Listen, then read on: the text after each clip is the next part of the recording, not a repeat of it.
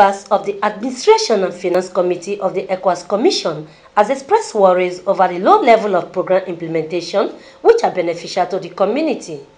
They made the expression at the ECOWAS meeting organized by the ECOWAS Parliament in Abuja.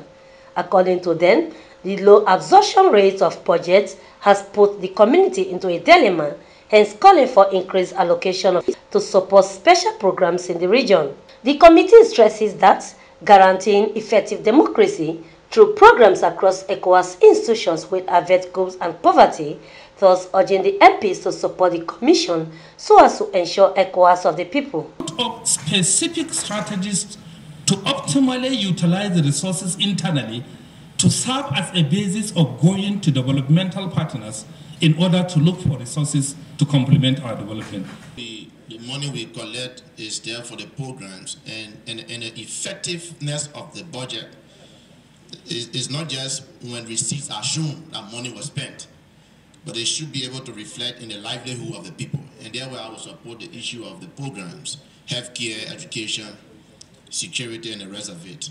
They are optimistic that implementation of programs could address lingering political crisis facing the region. Vincent Okushi, QTV News, Abuja. Audio.